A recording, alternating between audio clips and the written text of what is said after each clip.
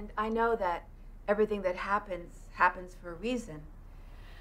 I only wish that Will could have known his son, Tom. There's so much he could have taught him. That's a load of bullshit. Of course, Will wasn't much. You met my kid. He turned out fine. He didn't need a fuck up like me to stick around. Could have helped him Me driving off the side of the road that night was the best thing for everybody involved. Seriously, Diane and I, we had a shit relationship which totally would have screwed up that kid. Just like you and Lisa are gonna screw up Maya. Fuck you. You just want to stay in this to prove what a good guy you can be. Not because you love Lisa. This isn't just about me, you fucking idiot. There are other lives at stake. Don't give me that shit. You are so fucking trapped. Yeah?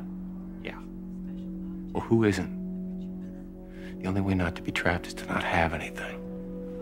You look me in the eye and tell me that sometimes you don't want to get in your car and just start driving and never look back.